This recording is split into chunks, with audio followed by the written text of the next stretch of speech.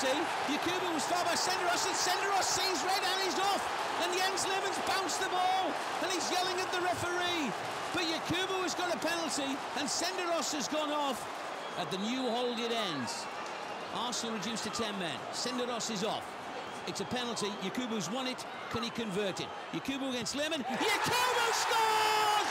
The Yak sends Lehmann one way. The ball is sent the other. Now it's Touré. Long ball for Adebayor. Inside the box, Henry. Henry's got a chance. Henry scored for Arsenal. Arsenal back level at the Riverside Stadium.